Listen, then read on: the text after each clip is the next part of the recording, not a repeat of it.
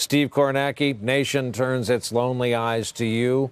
Are there any more numbers out of the state? There are some more numbers, and I want to explain to folks it's very complicated and tricky what is, and I think significantly what isn't happening here with these numbers. So let me show you. These are the official final numbers. These are all zeros right now. When you get to who won the state, how many national convention delegates, this is the formula that, that sort of produces those numbers. This is calculated by the state party. This is released by the state party. This is at zero because the state Democratic Party at this point, 515 on the East Coast, still has not reported out results from any precincts. I can tell you at this point in 2016, the state Democratic Party had reported out two thirds of the precincts, two thirds of the results. So they are significantly behind that. Again, doing it differently this time with what's uh, ultimately going to be released, supposedly, but zero from the state party. Now, what we do have are spotters spotters from news organizations that are, have been at these voting locations across the state writing down. You've seen from our reporters these results get announced. They've been writing them down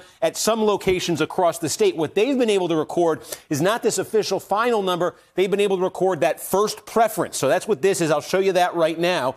This is where we have 4% or so covered with the first preference. They've been able to record that and they've been able to record the reallocated preference at these locations, you know, when the candidates don't make the viability threshold. So let me put in perspective what we, without anything from the state party, are and aren't capable of doing here. This is the missing vote. You see, the bulk of it's going to come out of the Las Vegas area, the bulk of it's going to come out of Washoe, not much else, not a lot of population in the rest of the state. So you see 84 precincts. Right now, we've had spotters at 84 precincts. Of the nearly 2,100 that are out there in Nevada, we've had spotters who are able to give us results. Now, hopefully, if all goes right with our spotters, we'll be able to get you about 300.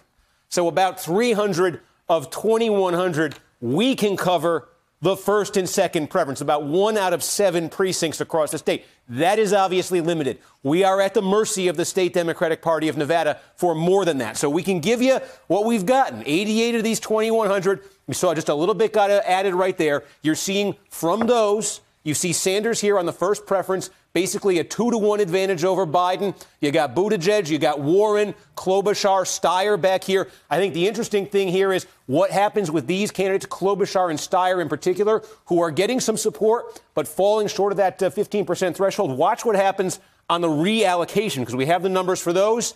And you see Klobuchar drops down to seven. Steyer drops down to four. You even see Warren there at 13. And look what happens where that vote goes up at the top. Suddenly, Bernie Sanders goes from 33, I was going to say 40, we got a little bit more in there, now to 39%. So Sanders, remember, we weren't necessarily seeing this in Iowa. In Iowa, Sanders was leading on the first preference and leading on the reallocation, but by a much smaller margin.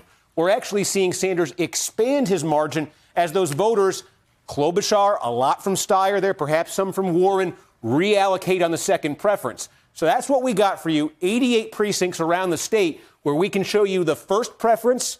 I'm just seeing if anything was added there. We can show you the first preference. We can show you the second preference.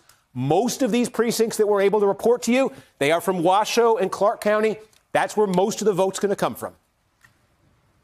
Wow. On behalf of all the viewers watching this coverage, you're allowed to look at it and wonder who won and why it isn't simpler to answer that question. Our thanks to Steve for wading through what we have, some of it observation from our old folks.